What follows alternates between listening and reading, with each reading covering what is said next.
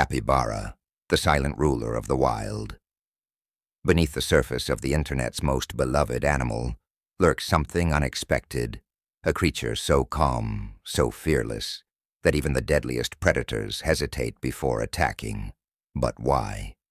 The capybara's secret world. The capybara, nature's most relaxed creature. At first glance it seems harmless, almost comical, but beneath its friendly, lazy expression lies a biological mystery. This is not just any rodent. It is the world's largest rodent, growing over four feet long, weighing up to 150 pounds. The capybara is a giant among its kind. But size is not its only advantage.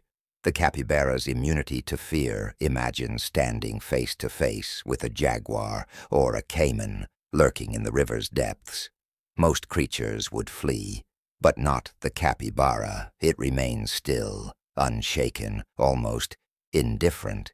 How does a prey animal survive without fear?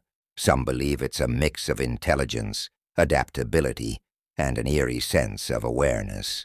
But others say, the capybara simply does not see danger the way we do. The science behind the chill scientists have studied the capybara's brain waves, discovering unusually low stress levels even when facing predators. This calm nature is key to its survival.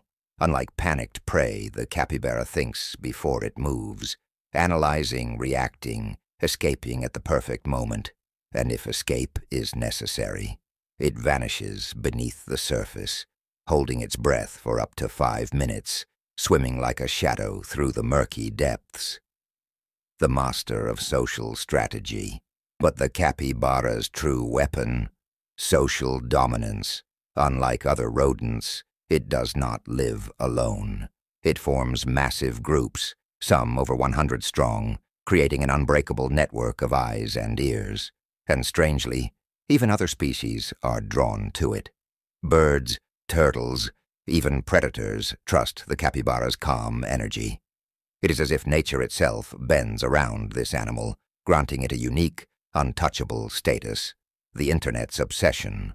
But why? The Internet has crowned the capybara as the king of chill. From memes to viral videos, it has become a symbol of peace, patience, and pure relaxation. But deep down, is this calm an illusion? Because no matter how relaxed it seems, the capybara is always watching, always thinking, and in a world full of chaos, it thrives in the silence. Is the capybara truly as peaceful as we think? Or is it something much more?